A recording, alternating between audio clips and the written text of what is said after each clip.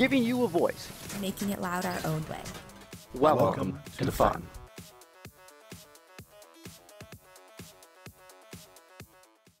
So today first revealed the teaser trailer for the FTC game called Ultimate Goal in all caps. The teaser trailer had various shots of exercises from pre- and previous year's robots. Were there any clips that stuck out to you from the teaser? What hints do you think for next year's game could be found in this video? Uh, if you have any suggestions in chat, uh, make sure to let us know. I know somebody in chat said that it's going to be like Rebound Rumble. Um, I'd love to see a Rebound Rumble for FTC, but what do you guys think? Yeah, uh, I mean, yeah. Go ahead. Uh, I think there's a lot of like I I kind of agree with all the people saying like there's going to be like a low and high goal or like a shooting game or something like that. I think that would be really exciting and like a new challenge for a lot of people since the last shooting game was Velocity Vortex, and so like now all of those people have cycled out uh, of FTC, so it would be like completely new people now competing in this. I think that could be really exciting. I don't think it would be completely new people competing in this because you could have folks that were in seventh and eighth grade competing oh, in that. Oh yeah, yeah, I didn't think yes. about that. So oh, they can definitely take a look at those notebooks from back then and reference and go, hmm. Yeah. Well, let's just make a bigger, badder velocity vortex bot, hmm? yeah. Yeah, that's a good point. Um, I mean, another thing, like obviously, like with the nets, I think that like in the logo, there's the net, and I think that helps, uh, like with the whole shooting idea. But uh, Alfonso, Alfonso and Sam, any anything to point out? Yeah. So also like yeah, like I agree that they show a lot of things with basketball, but I also see a lot of things with like the track and like running. So mm-hmm. I'm not sure if they're going to try to implement something sort of like a race, I guess, like oh, where teams have really to move around the field in like a certain speed by a certain mm-hmm. time. But yeah. I, I know you guys had like an extremely quick bot in Rover Ruckus. Are you looking to do something like that again? Um, I mean, depending on the game, if the if the game's going to require that, and we're going to have to move around the field pretty quickly, and if there's like a lot of robot interaction, we'll probably go for that. But we'll see. Uh, yes. FTC 3208 and FRC 568 asks, when do we know when Game Manual 1 will be released this season? I do think that First has announced when they're going to release Game Manual 1, but if it's anything like previous seasons, uh, it's usually the first or second week of July, but with COVID, who knows? Um, yeah, maybe July 14th is what somebody said in chat. Um, don't really know. Uh, one of the things that really stuck out to me about this teaser is there was a somebody doing pull-ups, which just immediately I was thinking hang. So yeah. it's been two years since we've had a hang, so it would make sense that we get another one. And then um, everything like the fact that they use the word goal in the name of the season, right? Ultimate goal. Like the only sport that I really think of when I hear goal is soccer, right? Like whenever you score, you hear a goal. Um, so I'm thinking maybe it's like a shooting game where you have to like pass things around, uh, kind of like what they did in uh, Aerial Assist for FRC, where you have to work with your partner to score things by shooting them. Can, can I point out something on here that really stuck out to me from an FRC perspective? Mm-hmm. Is right on here in a second. They're going to show uh, competitors and collaborators, and for those who have been in the FRC space, know about uh, cooperation points and how those have worked before. And they haven't always been very well received, but I would be very interested to see if there's something uh, in regards to if both alliances can do them, if there's going to be points scored uh, for that, or if you get maybe a bonus ranking point for having both alliances accomplish an objective together. Oh, so that's what the cooperation point is? That I mean, it has been in similar. So if you go back in previous years, there have been ranking points uh, do that. There's been uh, like in 2015, you got bonus points for doing that. Uh, but in other years, yeah, there's actually been uh, uh, 2012. If you're going to relate it to that year, um, was actually if you had a robot from each alliance balance the middle bridge in qualification matches, you got a bonus ranking point from that. Oh wow, that'll be yeah. interesting. And with something like that, it would definitely make the ranking system in FTC a little bit more leveled because then you have a little bit more to play around with when it comes to ranking points. And tiebreaker points aren't just your be all end all, um, which they've not been at least in my opinion, a great way to separate teams that are tied at the ranking point level. Um, so that might be something interesting. Maybe they are looking at changing the ranking system, especially since everything about FTC this year and first in general has been about quote changing the game. Mm-hmm. I also, also like the. Uh, I also like the little tribute they had to like a bunch of teams in there. Like I know we saw gluten free brainstormers and like a ton of teams in there. I thought that was pretty cool. Yep.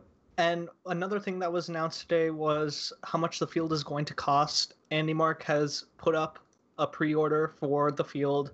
Um, with the logo. They are keeping the $450 field cost for a full field, which is, I think, exactly what it was last year. But they are selling partial fields, which are both blue or red.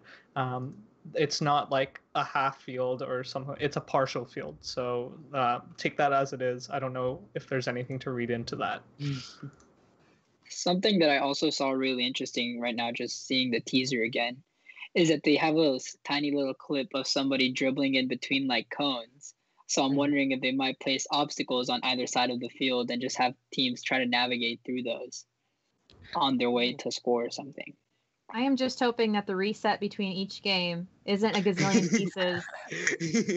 Lord help us all. yeah, I think overall hopefully that like I mean people at least in the FTC community have been dying for a shooting game. Hopefully we'll get something like that. Uh, Blue twelve Blue sec Bluetooth Bluetooth Bluetooth 1000 says maybe a Vex 2016s game except where we are using tennis balls. Um, I believe the Vex 2016 game was like the net nothing but net um, where they were just shooting full court across diagonals, pretty empty field. Such a fun game to watch. Um, I wouldn't mind if they did that. That game was awesome. So having an FTC scale robot playing nothing but net, that would be a pretty fun thing. Like look at that empty field and how much interaction you can have, but also like how far you can make shots. I'm just gonna say at champs level though, that got actually kind of boring because there would be no field elements left. Yeah, I mean, like all field elements would, were They, they really would have to figure out how to recycle the elements like they did in Velocity Vortex, but Velocity Vortex is considered one of the best games in FTC. Huh. I could also see them, like I feel like if they could use balls, like they use balls, they could go back to like the wiffle balls that they use in um, RO one, like yeah, that style. I mean, they've had those. Uh, they've had those same relic recovery or not relic recovery the rover ruckus. the rover. Ruckus those white wiffle balls. They've had those in so many games but they've never shot them. They've only shot the blue and red ones so maybe you shoot the white ones this time. Maybe possibly but i'm starting to think that maybe i know if we do uh, in-person competitions which we'll get to in a little while um, i'm wondering if our ppe is going to change as well and so maybe instead of we wear uh, safety glasses, we wear face shields for not only COVID, but if we're having a shooting game, you know, I don't want to get hit in the nose and end up with a bloody nose, you know. So yeah, scary. All things to think about. Uh, all right. Uh, anybody so, else have any thoughts on this? I just want to jump in. I'm sorry to, to do so so many times, yeah. but I do want to give a, a, brief plug for FTC to the uh, AndyMark Robot Relief Fund uh, that they've had, uh, which this is specifically grants for FTC teams uh, that they're starting out with. So they're accepting donations uh, from people. Apparently, one person donated five thousand dollars. But so if you Whoa. have five thousand dollars to give, then you know you can go ahead and do that. But uh, yeah, so the, it's, it's a way to both support AndyMark, who of course, as many suppliers are in uh, pretty dire straits right now with the uh, changes, especially in FRC, with their being the same game recycled again next year. Uh, but if you're interested, if you have the means to donate to the Robot Relief Fund, go check it out on AndyMark's website. Um, you can donate there, and they're essentially taking the money they get and then granting those to, to FTC teams to purchase uh, uh, AndyMark uh, parts and field elements or whatever you want at AndyMark. So it's an interesting idea uh, that they have and a good way for you to support both AndyMark if you're a fan of them, uh, which I definitely am, and also to help support teams. Awesome. Yeah, so uh, earlier this week, First in North Carolina announced that FTC competitions for the 2020 to 21, 2021 season uh, will be in a remote format. This email also goes on to explain how First will be giving the option to hold remote competitions to all regions and will be releasing guidelines on these remote competitions. Uh, what are your guys' thoughts on this? Oh yeah, so like I was I was saying earlier too is like with remote competitions, I think it's like a really good idea, but I'm not really sure how sort of the high level and like the intensity of the game will carry on to remote competitions because you don't have that like sense of competition mm-hmm. there every like with you. Yeah. Yeah. I, I mean, uh, I know we had like virtual MTI this past uh, week, and like based on the, how that went, like I know uh, some like I've heard some people saying that like the, it was like a logistic logistically like it wasn't uh, that great, and like it was kind of difficult to get set up and everything. But I mean, yeah, Sam, you were saying something. Uh, yeah. On top of that, I feel like a lot of the FTC games in the past few years has been, you know, robot to robot interaction, and Mhm. Doing these events virtually really gets rid of that aspect entirely. And I feel like it would change the meta entirely, um, and it would change a lot of like the basis of design for a lot of these robots. So Mhm. it would change things up immensely. Yeah, Uh, one of the things. as a or Ingrid, as Uh, a ref, like how do you see this? Oh, good gosh. Uh, logistically, yes, it's an absolute nightmare, at least on my end of things. Um, depending on how they do it, uh, if if it's less people at the competition, you just have your robot fixers there, and everyone just remotes from home or whatever, and is super distance. Maybe that'll work out fine. But if it's just, hey, drop your robot at the competition and let the volunteers do all the rest of the work, that is going to be incredibly rough on us. But if they say, hey, let's go entirely with simulation, then I just walk into my room here and I just get my coffee and I just sit here in this chair and I go click, click, click and not have to spend any gas money ever. So that's nice. Yeah, so when I was reading this, um, two things came to mind. Uh, first of all, the fact that First is releasing guidelines, First HQ is releasing guidelines on these offline competitions seems like they think it's probably going to happen that multiple regions are going to need these offline competitions that are um, not in person just due to COVID. And safety first, as always. Um, if it is unsafe due to COVID, they should do these competitions online because it's better than nothing. So we'll take anything we can get. Beggars can't be choosers. Um, but another thing that I was just thinking um, initially, First was going to release the teaser, I think, two weeks ago, and they pushed it back to today. So that got postponed what they could have done is they could have made some adapting changes to the game to make it so it works better in an online setting where teams aren't necessarily interacting with each other but rather it's more like an FLL game where teams are working by themselves to solve the tasks and they make the tasks ridiculously hard or some way that it recycles elements that way there's no scoring cap um, that way teams are trying to beat themselves and it's like an individual solo robot and the most efficient robot wins yeah, it takes away from the robot to robot interaction, which is always fun, and it takes away the audience. But I think it's better than nothing. Right. You're still learning, you're still competing, you still can show uh, what you can bring to the table with your team and individually. And it could be that the game makers, uh, seeing how big this COVID stuff blew up and how it's not going away, folks, um, maybe they did a change to the layout of the field to make that possible, or at least make it a less high contact type game. And so maybe they still keep the same skills that they want these robots to be able to perform, but making it, you know, just as difficult, just changing things up a little bit and tweaking the rules because they still are working on creating that game in March and in April. There's a reason why they wait a long time to release the game and they give out a teaser as hey this is a theme but they still release it in september Yeah, something sort of like what you were saying with the FLL would also be really cool to see how that influenced team certain teams' designs instead of sort of planning for more robot interaction, instead of mm-hmm. plan just on maximizing their own points, and just seeing if that shifts some teams that consistently do like a six wheel drive, maybe if they'll switch to like Mecanum or something like that. Um, but the thing with like like the FLL type idea that like I'm having a little trouble with is like if the field is still four hundred and fifty dollars, like that's not I don't know if that's like extremely like accessible for like just teams like because teams will probably have to be smaller because like they won't be able to be hosted at schools or anything like that. And it's like I feel like there could be a little trouble with funding there if like every single team had to buy a four hundred and fifty dollar field or you know like even like the replacement if it was uh expensive or not. Well Or even some could- teams are are relying on small businesses in their community or even other businesses that are maybe medium sized those businesses are struggling as is right now. So where are those funds going to come from other than possibly grants and such? Or Yeah. it could be something where like the game evolves, like until Worlds, no robot interaction, and then at Worlds, robots go in the 4v4 format, Oh wow. where the game changes throughout the season. It's something That that, they could Game do. changers. Wow. Yeah, that that would would- be very intense. But another thing I was gonna bring up is like it would be kind of like Recycle Rush, and Tyler's not gonna give me a hard time because he loves Recycle Rush. But um, like you could do a game sort of like Recycle Rush where it's isolated.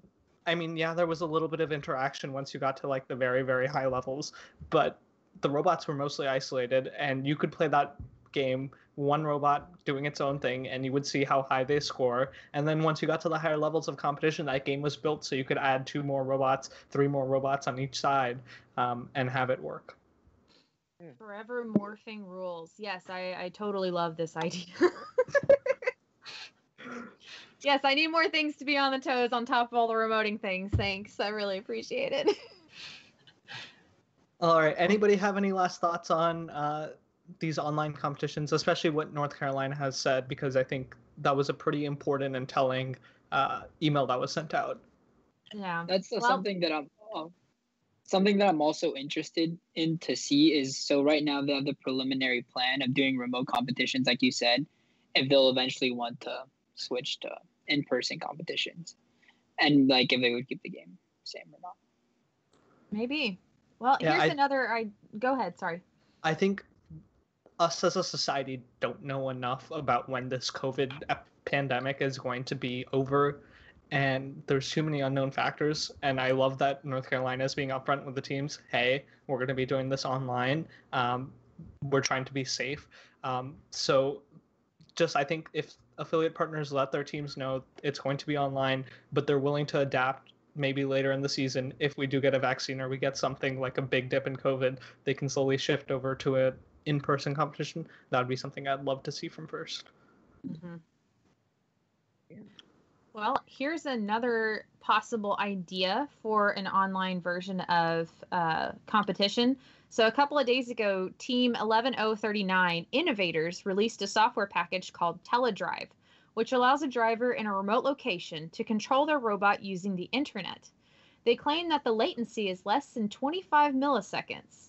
This could be an alternative to competitions to help maintain social distancing since not all drivers would need to be at the competition. Currently, to install Teledrive, many modifications have to be made to the current FTC software. The innovators are proposing that first changes the robot controller application to allow Teledrive for the option of limited attendance for in person FTC competitions. So, this adds a whole nother level to it.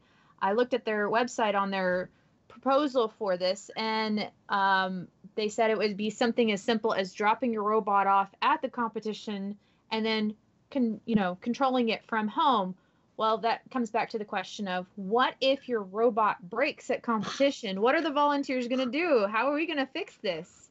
So it could be that you bring two or three different people and a coach or something to it, the competition that are there for simply setting up and fixing and accepting an award maybe.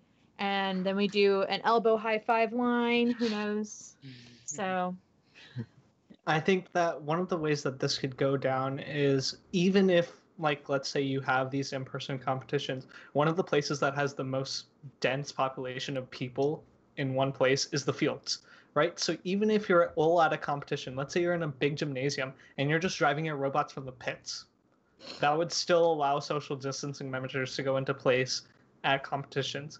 Um, but when looking more deeply into this, and since I have an understanding of the control system for FTC, there would need to be significant changes made to the robot controller. And so they, the innovators, are asking that these changes be made to the uh, robot controller app and released for next year.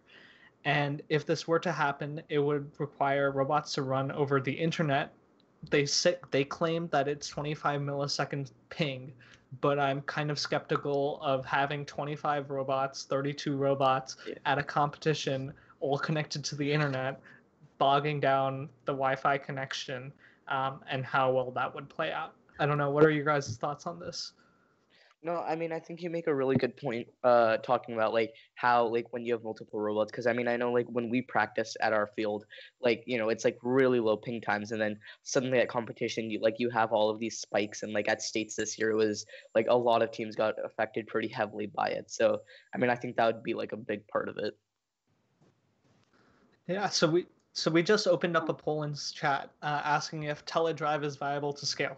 Uh, so far, most people have said no, but we'll see how it goes on, and we'll let you know the results. Yeah, and then I'm also like skeptical on like so you said like 25 to 30 teams, but that's like on a smaller scale. If Worlds is still remote by like the end of next year, like that's 300 teams operating on how many Wi-Fi's? I don't know.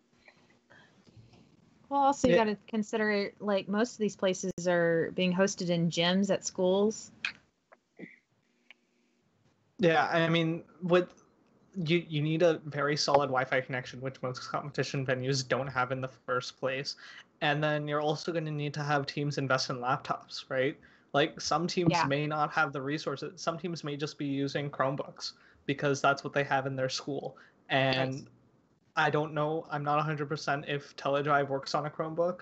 Um, I still have to look into that, but I think that it's something that it could easily give a big advantage to a team that's more well off um, than a team that's not doing very well. Um, overall, I think that it's a cool idea. It might actually be great for driver practicing because Mhm. teams can't Yeah. meet in the same place. But for a competition venue, I think it'll be a little bit harder.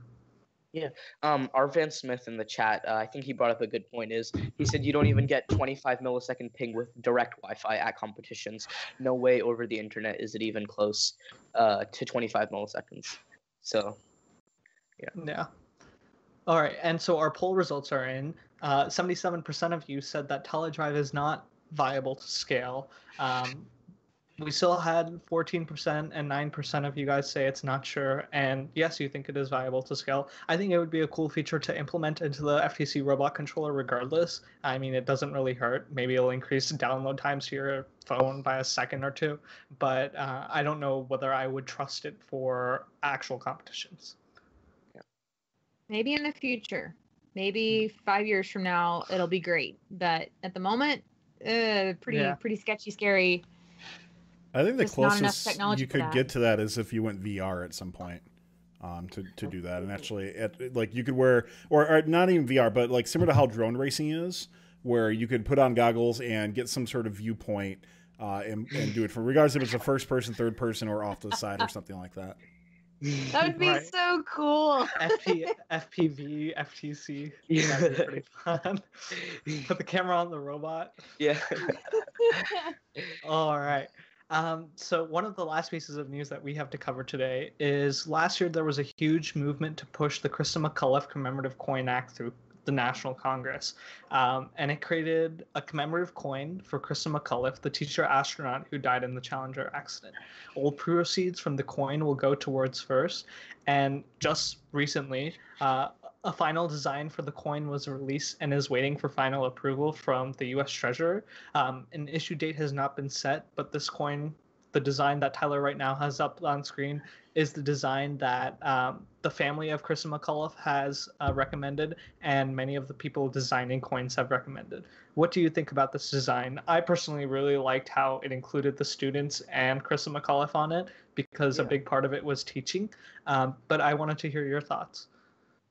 Yeah, I, I some something that I thought was really cool on the coin is that it has the name, her name, like very big on the coin on like the front face. So sort of just honoring that legacy, so you know who she is, and so people just don't look at the coin and just wonder like who was that, right? Like it honors her directly. That Right. was really cool. I mean, other than that, I mean, I see that like first put their logo on there, which I mean, I think it's if if that's what the family wanted, like it's definitely what should happen. And overall, like I think it's a really amazing design. Yeah, and so um, I know one of the changes that happened from the coin, uh, from the initial bill to when it was passed, was um, the first the the proceeds from the coin will now go directly to the first organization. Um, initially, it was supposed to go towards first teams, uh, but now it's going to be helping the organization continue its events. Uh, what do you guys think about that? I mean, I think like right like right now, obviously these are like trying times for businesses, and so like I think it would be it would probably be better for like first as a whole to be able to hold competitions instead of like ev- like it would be more important for first to hold competitions than like some teams that aren't able to continue because they don't get grants. I think. Thanks for watching. If you want more fun content, be sure to subscribe and ring the bell to be notified about our latest videos. Thanks to all of our co-executive producers on Patreon and Tier 2 Plus subscribers on Twitch, keeping fun loud, live, and independent.